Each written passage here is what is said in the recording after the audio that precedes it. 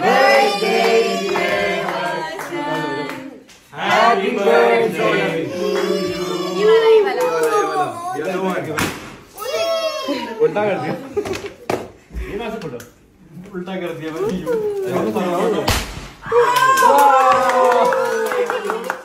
जाओ ना आज तक बर्थडे पिक्चर में आ जाओ चलो चलो कि आप लोगों ने इस वीडियो में देखा, मिनाल खान और एहसन इकराम के बेटे हसन इकराम की ये पहली सालगिरह थी, जिसमें मिनाल की बहन एमन और पूरी फैमिली ने आके काफ़ी खूबसूरत सा सरप्राइज़ भी दिया।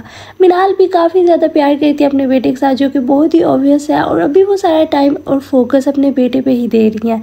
जब से उन्होंने शादी के बाद प्रेगनेंसी की न्यूज़ शेयर की थी, उन्होंने सोशल मीडिया और अपनी इंडस्ट्री से काफ़ी हद तक ब्रेक ले लिया। उन्होंने कहा कि मैं ड्रामास में काम नहीं करूँगी, क्योंकि मैं सिर्फ़ अपनी फैमिली और अपने बेटे पर फोकस करना चाहती हूँ, और इसकी एक ही रीज़न ये भी थी कि उनका वेट काफ़ी ज़्यादा गेन हो गया था प्रेगनेंसी की वजह से। अभी वो अपने बेटे के साथ काफ़ी खूबसूरत सी बर्थडे सेलिब्रेट कर रही है। रात के बारह बजे वो अपनी फैमिली के साथ आउटिंग पे गई और अपने बेटे को एक खूबसूरत सी छोटी कार भी गिफ्ट की। जैसा कि इनके हस्बैंड एहसन इकराम का कार्स का ही बिज़नेस है और वो दोनों ही बहुत ही ज़्यादा खूबसूरत सा फैमिली टाइम स्पेंड कर रहे हैं।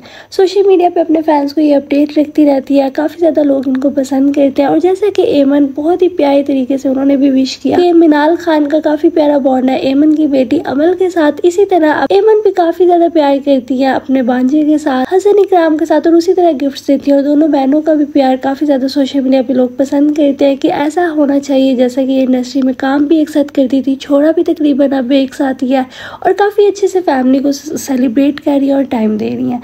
और ये रात के बारह बजे की सेलिब्रेशन है। अभी यकीनन इनकी एक बहुत ही बड़ी पार्टी होगी। जैसा कि ये दोनों बहनें अपनी हर याद यादगिरी हर फ़ंक्शन हर इवेंट बर्थडे हो शादी हो बहुत ही ह्यूज सेलिब्रेट करती हैं और मेमोरीज रखती हैं।